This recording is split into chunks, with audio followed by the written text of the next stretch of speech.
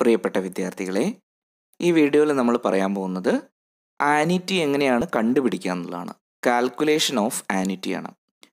അപ്പോൾ ആനിറ്റി കണ്ടുപിടിക്കണമെങ്കിൽ എന്താണ് ആനിറ്റി? ഏതൊക്കെ തരത്തിലുള്ള ആനിറ്റീസ് ആണ് ഉള്ളത്? ഇവയെക്കുറിച്ച് നല്ലൊരു ഐഡിയ വേണം. അപ്പോൾ ഇതിന്റെ ഒരു തിയറി പാർട്ട് വളരെ ഡീറ്റെയിൽഡ് ആയിട്ട് നമ്മൾ ഈ ചാനൽ തന്നെ ചെയ്തിട്ടുണ്ട് ഈ വീഡിയോയുടെ ഐ ബട്ടണിൽ നോക്കിയാൽ നിങ്ങൾക്ക് അതിന്റെ ലിങ്ക് കാണാൻ സാധിക്കും. അതോടൊപ്പം തന്നെ അതിന്റെ ഡിസ്ക്രിപ്ഷനിലും ഞാൻ ലിങ്ക് കൊടുത്തിട്ടുണ്ട്. അവിടെ നിന്നും അതിന്റെ തിയറി പാർട്ട് ആദ്യം മനസ്സിലാക്കുക. അതിനുശേഷം നിങ്ങൾ പ്രോബ്ലത്തിലേക്ക് വരാം. അപ്പോൾ നമുക്ക് ഇവിടെ ആനിറ്റിയാണ് കണ്ടുപിടിക്കുന്നത്. അപ്പോൾ ആനിറ്റിയെ നമുക്ക് രണ്ട് രണ്ടായിട്ട് തരംതിരിക്കാം. ഒന്ന് സെർട്ടൈൻ ആനിറ്റി ഉണ്ട് അതുപോലെ തന്നെ പെർപെക്ച്വൽ ആനിറ്റി ഉണ്ട്. ഇപ്പോൾ സെർട്ടൈൻ ആനിറ്റി എന്ന് പറഞ്ഞു കഴിഞ്ഞിട്ടുണ്ടെങ്കിൽ നമുക്ക് കറക്റ്റായിട്ട് കാലാവധി എത്രയാണ് എത്ര വർഷത്തേക്കാണ് എന്ന് നമ്മളോട് പറഞ്ഞിരിക്കും. അപ്പോൾ അങ്ങനെ തരുന്നതിനെയാണ് സെർട്ടൈൻ ആനിറ്റി എന്ന് പറയുന്നത്. എന്നാൽ പെർപെക്ച്വൽ ആനിറ്റി എന്ന് പറഞ്ഞിട്ടുണ്ടെങ്കിൽ കാലാവധി കറക്റ്റായിട്ട് മെൻഷൻ ചെയ്യില്ല. അപ്പോൾ അങ്ങനെ മെൻഷൻ ചെയ്യാത്തതാണ് പെർപെക്ച്വൽ ആനിറ്റി എന്ന് പറയുന്നത്.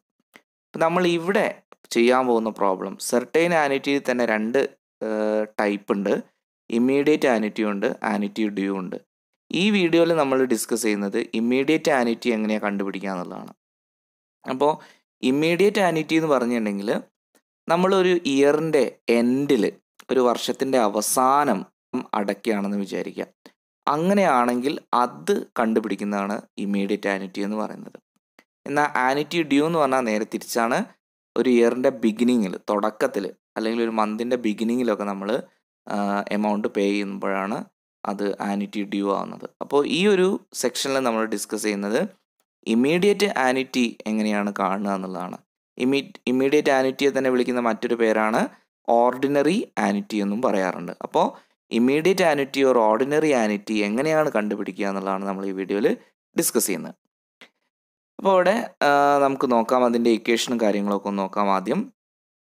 അപ്പോൾ എന്താണ് ഇമ്മീഡിയറ്റ് ആനിറ്റി എന്ന് ജസ്റ്റ് ഇവിടെ പറയുന്നുണ്ട്.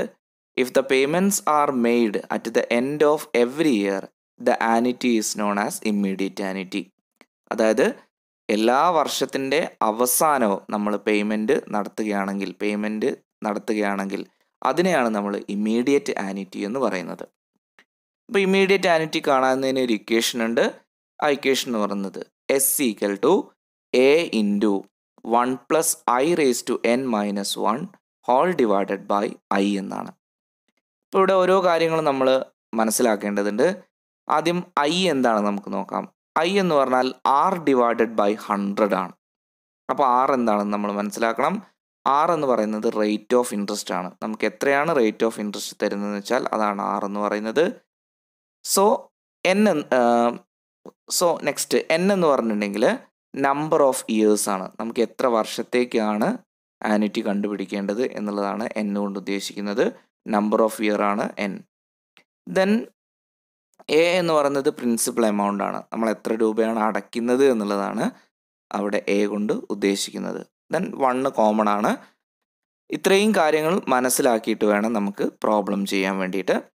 ഓക്കെ അപ്പം നമുക്ക് ഇനി ഇതിന്റെ ഒരു പ്രാക്ടിക്കൽ പ്രോബ്ലം എങ്ങനെയാണ് നമ്മൾ ആനിറ്റി കാണുക നമുക്ക് ഡീറ്റെയിൽ ആയിട്ട് നോക്കാം. അപ്പോൾ ആ സെക്ഷനിലേക്ക് പോവാം. ഇനി നമുക്ക് ഒരു പ്രാക്ടിക്കൽ പ്രോബ്ലം ചെയ്തു നോക്കാം അല്ലേ? ഇവിടെ ഒരു ചോദ്യം നോക്കൂ.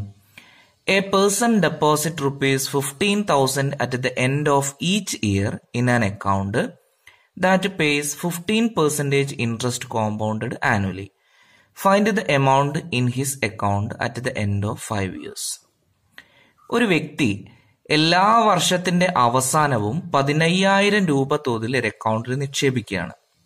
അദ്ദേഹത്തിന് പതിനഞ്ച് ശതമാനം ഇൻട്രസ്റ്റ് കോമ്പൗണ്ടഡ് ആനുവലി ആയിട്ട് എന്ത് ചെയ്യുന്നുണ്ട്? നൽകുന്നുണ്ട് എന്നും പറയുന്നു.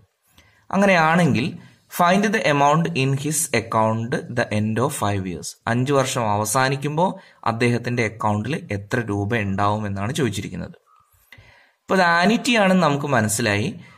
അതോടൊപ്പം തന്നെ മറ്റൊരു കാര്യവും മനസ്സിലായി. ഇതൊരു സെർട്ടൈൻ ആനിറ്റി ആണെന്ന് മനസ്സിലായി. കാരണം എത്ര വർഷമാണ് എന്ന് കറക്റ്റായിട്ട് ആ പിരീഡ് നമ്മളോട് പറഞ്ഞിട്ടുണ്ട്. ഇവിടെ അഞ്ച് വർഷത്തേക്ക് എന്ന് കറക്റ്റ് നമുക്ക് നമ്മോട് പറഞ്ഞിട്ടുണ്ട് അല്ലേ? ഇനി അതേപോലെ ഇത് ഇമ്മീഡിയറ്റ് ആനിറ്റി അല്ലെങ്കിൽ ഓർഡിനറി ആനിറ്റി ആണോ? ഇനി അതല്ലെങ്കിൽ ആനിറ്റി ഡ്യൂ ആണോ? ഇത് നമുക്ക് നോക്കണം. ഇവിടെ a person deposit fifteen thousand at the end of each year എന്ന് പ്രത്യേകം പറഞ്ഞിട്ടുണ്ട് അല്ലേ? എല്ലാ വർഷത്തിന്റെ അവസാനവുമാണ് അടയ്ക്കുന്നത് എന്ന് പറഞ്ഞിട്ടുണ്ട്. അങ്ങനെയാണെങ്കിൽ ഇതെന്ത് ആനിറ്റി ആയിരിക്കും? Immediate annuity or ordinary annuity അപ്പൊ നമുക്ക് മനസ്സിലായത് ഒരു ഇമ്മീഡിയറ്റ് ആനിറ്റിയാണ് അല്ലെങ്കിൽ ഓർഡിനറി ആനിറ്റിയാണ് കാരണം എന്താണ്? At the end of each year എന്ന് എല്ലാ വർഷത്തിന്റെ അവസാനവുമാണ് എന്ത് ചെയ്യുന്നത്? അടയ്ക്കുന്നത് എന്ന് പറഞ്ഞു. ദെൻ ഇനി അദ്ദേഹത്തിന് കിട്ടുന്ന ഇൻട്രസ്റ്റ് എത്രയാണ്? ഫിഫ്റ്റീൻ പെർസെന്റേജ് ആണ്. അദ്ദേഹം അടയ്ക്കുന്നത് പതിനയ്യായിരം രൂപയാണ്. അഞ്ച് വർഷത്തിന് ശേഷമാണ് എന്ത് ചെയ്യുന്നത്? എമൗണ്ട് അദ്ദേഹത്തിന് ലഭിക്കുക എന്ന് പറഞ്ഞു. അപ്പോൾ ഇമ്മീഡിയറ്റ് ആനിറ്റി അല്ലെങ്കിൽ ഓർഡിനറി ആനിറ്റി കാണുന്നതിനുള്ള ഇക്വേഷൻ നമുക്കറിയാം. A into one plus I raise to N minus one whole divided by I. ഇതാണല്ലോ കാണാനുള്ള ഇക്വേഷൻ.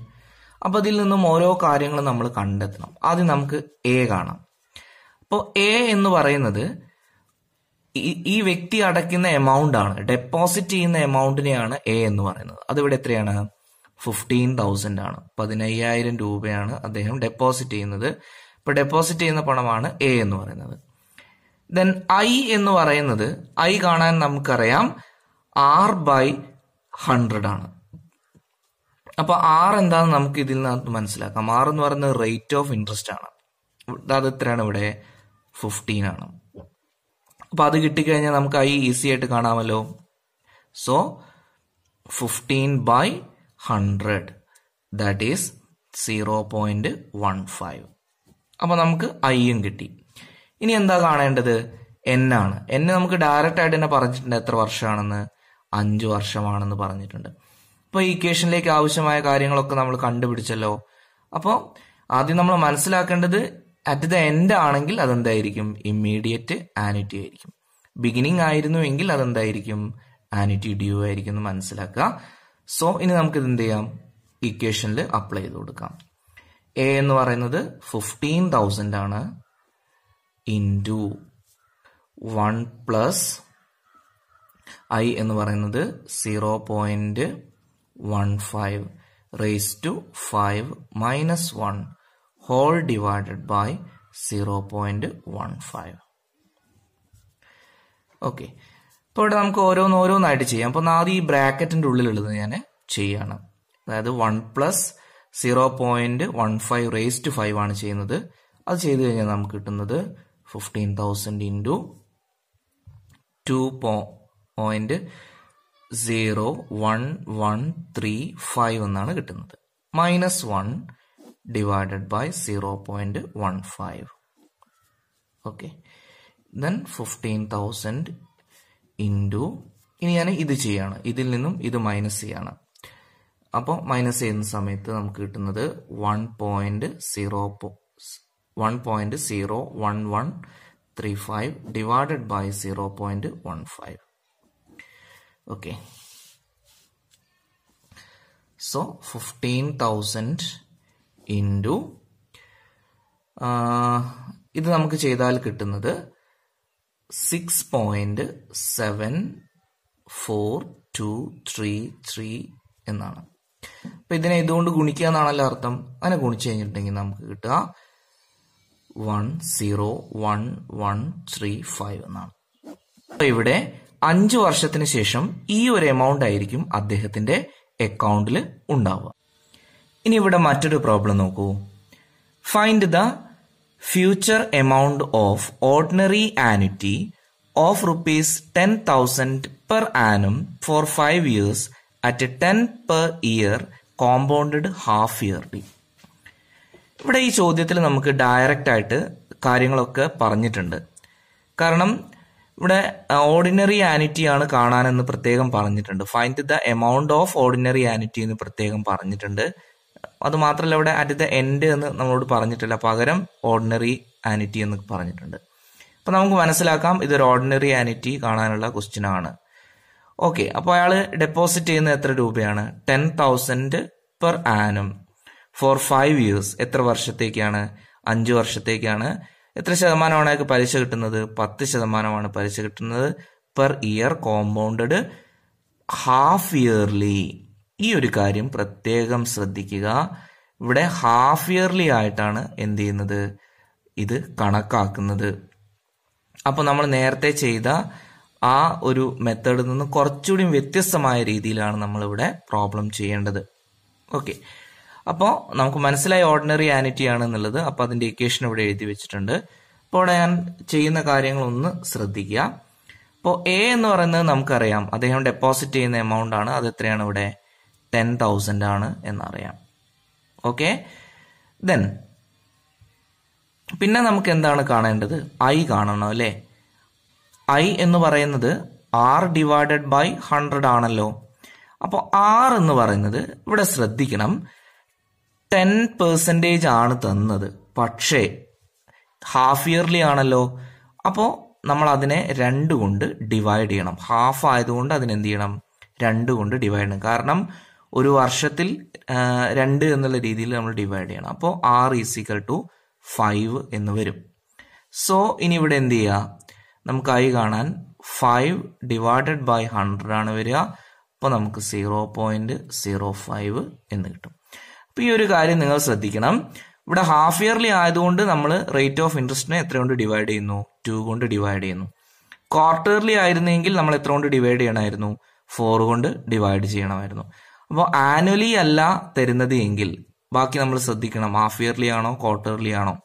അപ്പോൾ ഈ ആറിനെ നമ്മൾ എന്ത് ചെയ്യണം? തന്നിരിക്കുന്ന റേറ്റ് ഓഫ് ഇൻട്രസ്റ്റിനെ ഡിവൈഡഡ് ബൈ ഹാഫ് ആണെങ്കിൽ ടു ക്വാർട്ടർ ആണെങ്കിൽ ഫോർ അങ്ങനെ നമ്മൾ ചെയ്യണം. സോ ഇനി എന്നും നമ്മൾ ശ്രദ്ധിക്കണം. എൻ എന്ന് പറയുന്നത് ഇവിടെ ഫൈവ് ഇയേഴ്സ് എന്ന് പറഞ്ഞിട്ടുണ്ട് അല്ലേ?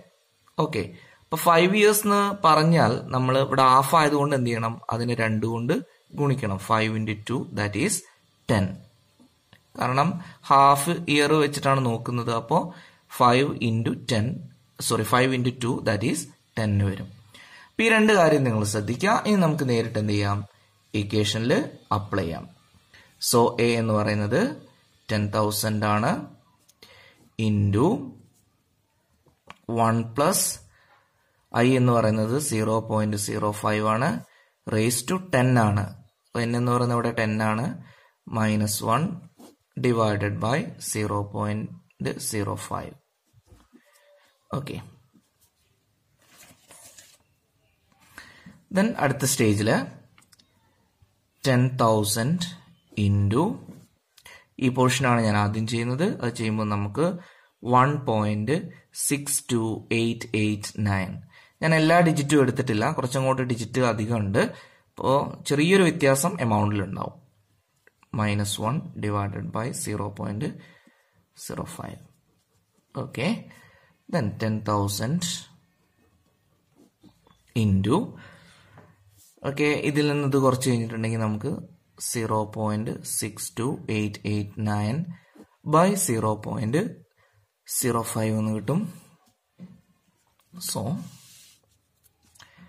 ടെൻ തൗസൻഡ് ഇന്റു ഇത് നമുക്ക് ചെയ്താൽ കിട്ടുന്നത് twelve point five seven seven eight so ഇവിടെ നമുക്ക് one lakh twenty five thousand seven hundred and seventy eight okay ഈ ഒരു എമൗണ്ട് ആണ് കിട്ടുന്നത്. ഓക്കെ അപ്പൊ അദ്ദേഹം ടെൻ തൗസൻഡ് വെച്ചിട്ട് ഫൈവ് ഇയറിൽ പത്ത് ശതമാനം ഇൻട്രസ്റ്റ് അത് ഹാഫ് ഇയർലി ആയിട്ട് കണക്കാക്കുന്ന സമയത്ത് നമുക്ക് എത്രയാണ് കിട്ടുന്നത്? One lakh twenty five thousand seven hundred and seventy eight എന്ന് പറയുന്ന ഒരു എമൗണ്ട് ആണ് കിട്ടുന്നത്. അപ്പൊ ഇത്രയും എമൗണ്ട് അഞ്ചു വർഷത്തിന് ശേഷം അയാളുടെ കയ്യിലുണ്ടാകും അപ്പൊ ശ്രദ്ധിക്കേണ്ട കാര്യം ഇവിടെ ഹാഫ് ഇയർലി എന്ന് പറയുമ്പോൾ നമ്മൾ എന്ത് ചെയ്യണം? ആറിന് രണ്ട് കൊണ്ട് ഡിവൈഡ് ചെയ്യണം. അതേപോലെ എന്നിനെ രണ്ട് കൊണ്ട് ഗുണിക്കുകയും വേണം. ക്വാർട്ടർലി ആയിരുന്നുവെങ്കിൽ ഇത് ഫോർ കൊണ്ട് ആവുമായിരുന്നു. ഓക്കെ ഇപ്പൊ ഈ വീഡിയോ നിങ്ങൾക്ക് ഇഷ്ടപ്പെട്ട് കാണുമെന്ന് വിചാരിക്കുന്നു. ഇഷ്ടപ്പെട്ടാൽ ലൈക്ക് ചെയ്യുക. അതോടൊപ്പം തന്നെ നിങ്ങളുടെ സുഹൃത്തുക്കൾക്കൊക്കെ ഷെയർ ചെയ്ത് കൊടുക്കുക. ഈ ചാനൽ സബ്സ്ക്രൈബ് ചെയ്ത് സപ്പോർട്ട് ചെയ്യുക.